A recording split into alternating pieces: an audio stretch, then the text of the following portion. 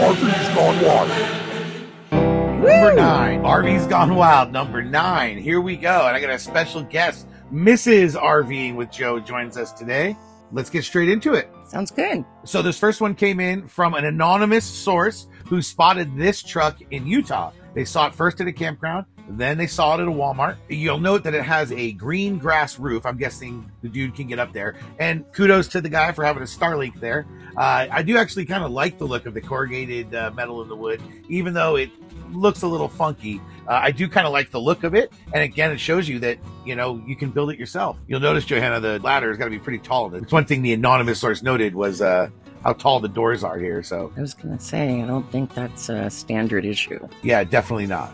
But this anonymous source also sent us this cool semi. Now, when you see a semi like this with these really long sleeper beds, they're actually RVs on the inside. I decided to look up the company on here and found other pictures of the inside of this actual rig or, or of this type of rig from this company. You can see it has a regular RV sink, it has a fridge, has a microwave, has a bed. It's there she goes. So uh, it's got a stove. Uh, it's actually got a Murphy bed. And again, when you see these types of big rigs on the road, know that they're effectively RVs on the back of a semi. that kitchen is slightly bigger than ours. and slightly, yeah. Well, we've got an Ember. I, it's not for known for their kitchens. No, we th- didn't get that for that. this truck has a little more weight capacity than our single axle Ember. couple pounds. Mean. Sweet Pea sent me this picture. She actually spotted it going down the road. This was in Phoenix on Interstate 10. And I don't know if you understand these types of trailers.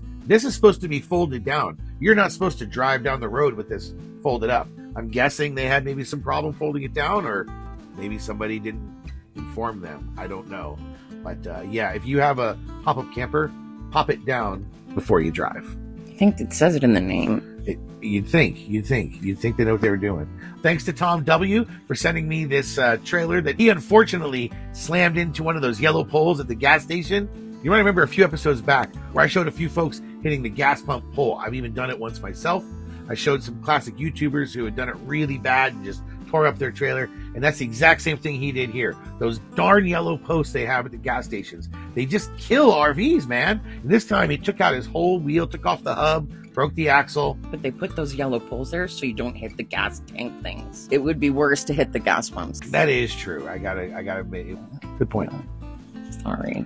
But luckily for this guy, there was a repair shop just one mile away, and he was able to get it fixed in a short period of time. So, Butch H sent us this one. I'm not sure if this was him or one he saw, but this is one where it was clearly overloaded, and the frame actually broke on the uh, trailer. So, yeah, It's supposed to be like this, people.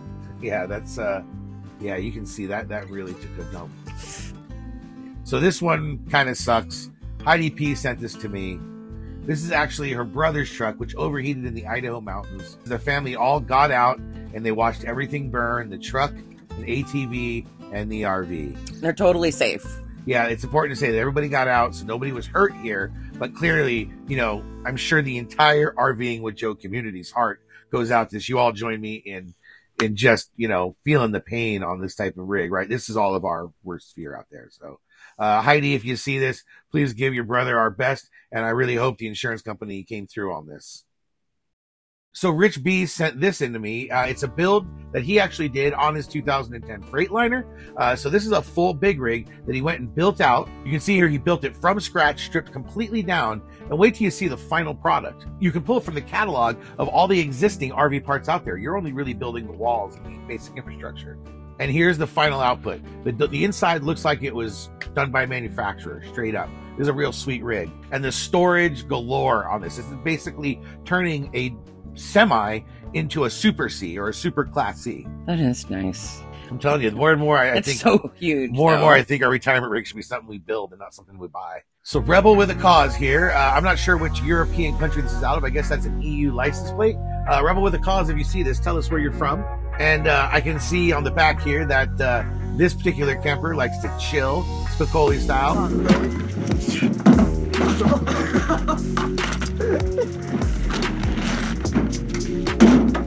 Love it.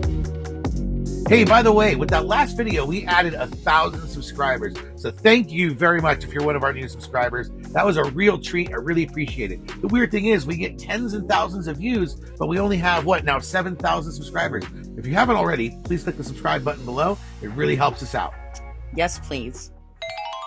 So the next thing came in from Stephen O. Thanks for sending this picture in. I guess he saw it up at the uh, ski slopes. This is called the Ski Bum Camper, and you know he clearly took this old classic, you know, aluminum style shell that I'm guessing he didn't build from scratch, and then dropped it on top of a work truck. Uh, but the that what do you call those? Uh, the, the tool tool truck, tool bed. What do you call those? A tool truck bed? If there's another name for that truck, please comment below. Uh, is clearly you know it's mounted in and on top of there, but even the tool truck bed's not quite sized for this rig. Who cares? Hope you had fun skiing. Thanks for sending this in, Stephen. Alan sent in this classic Ford uh, camper van here. This is actually, I guess, what they call a toter home. It was originally built for, uh, you know, like carrying racing trailers, things like that. Let's let him talk about it here. Right over here is a 1979 Ford L700. This is a massive, massive truck. Back in the day, this was used as a toter home and uh, probably had like a stacker trailer behind it. It went to all kinds of races. So we can start just from front to back. Something that I thought was cool is it's got the blue oval. A lot of the trucks from 79, I've never really seen the blue oval on it. So to me, that's something that's really cool. We got a 460 big block with a five speed. It's got a four barrel carburetor on it.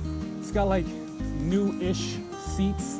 And over here, this is like, uh, I guess this is just part of the cabin. So what, the reason why I really like this is this is where my kids can hang out. So while I'm driving, this is where they could sit, they could play games, maybe I'll install a TV. And then back here is where the fun is. Basically now it's like a full RV. It's got this cute kitchen with, you know, some live edge and stuff. I mean, so as you can see over here, this is the freshwater tank. That's the gray water tank. So thank you, Alan D, for sending this in.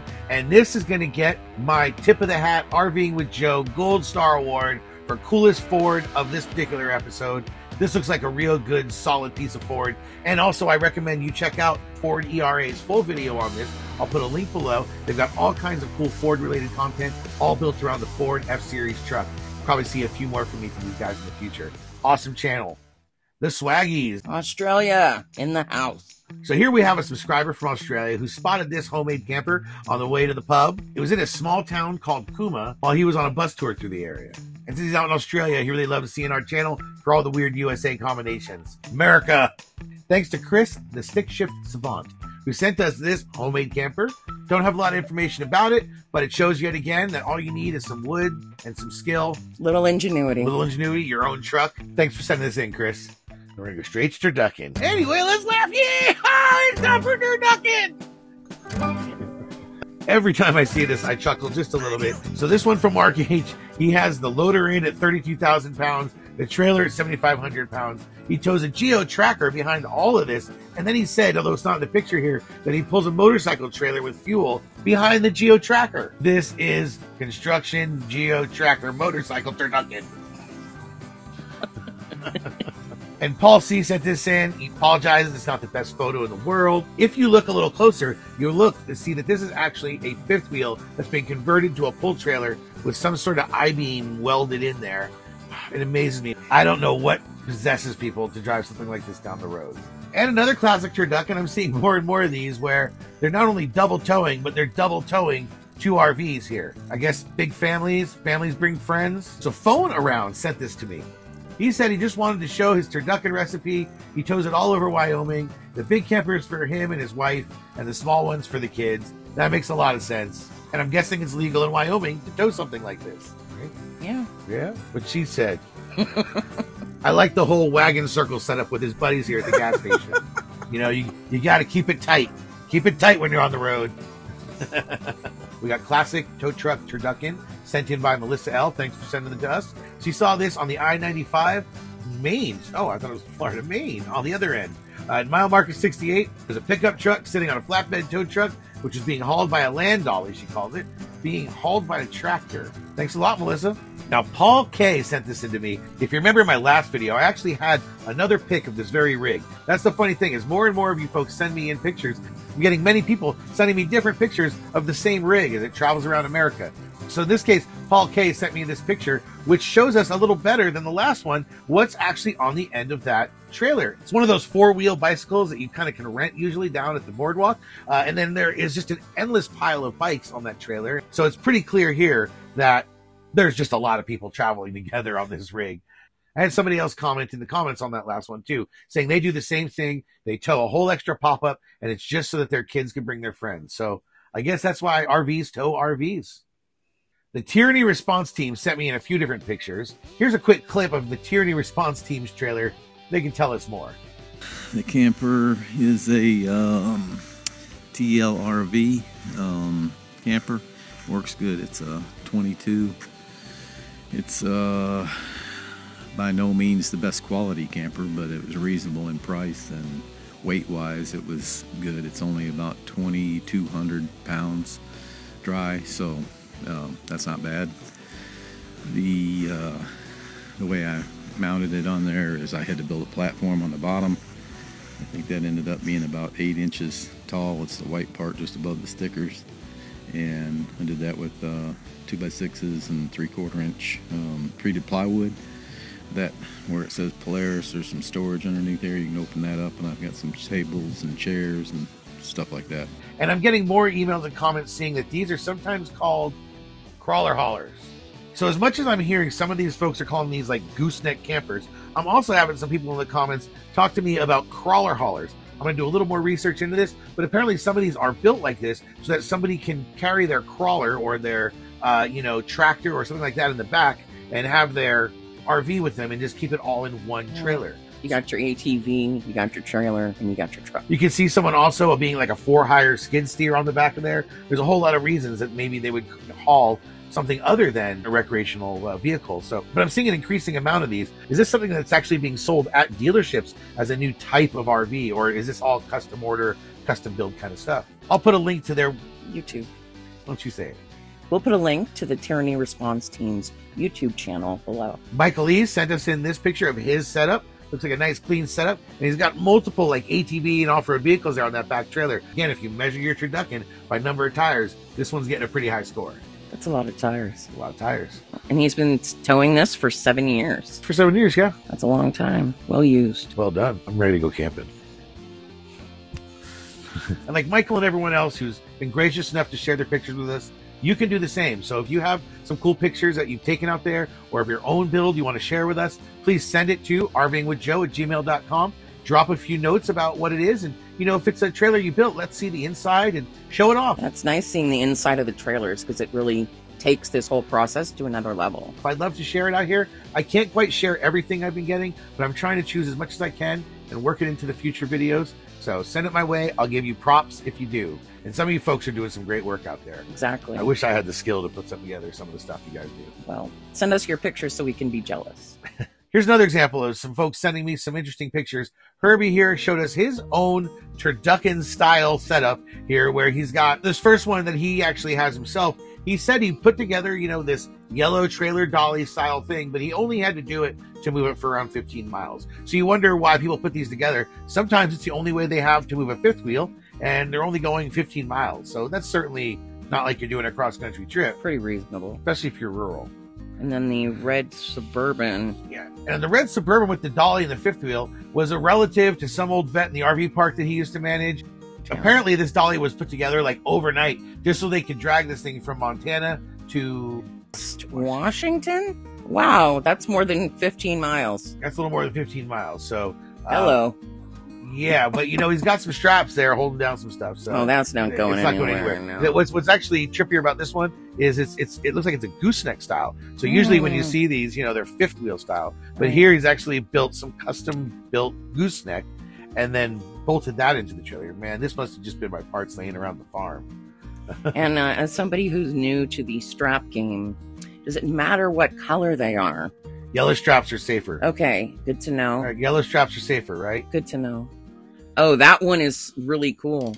There we go. And Herbie's last pick was this hearse and trailer. I'm not sure this is technically an RV, but I don't care. Anyone who's going to soup up a hearse, it'd be cool to have a hearse just to drive around, right? That is one dark, spooky thing to have as a car. So, Herbie, we love you, man. Thanks for sending us all this stuff. Thanks to everybody who sent us pictures. Don't forget to send us pictures. Please subscribe to the channel. You can Oh, even sure. get notifications if you want. I'm morally against people who make sure you subscribe, like, but don't click notifications. I think notifications are bad. You don't need YouTube in your phone ring just telling you I got a new video out. So subscribe. Don't worry about notifications. Okay, well, I do that for some of the channels that Really? I follow, I don't know. but I will not impress that upon your viewers. But you can also share this. So please also think about sharing some of these videos. Spring is almost here. So make sure whether you're going to go camping, whether you're going to go RVing, or just going out for a day trip, make sure you get busy living. All right, so let's stop recording. Let's hope it's recorded. no, it's not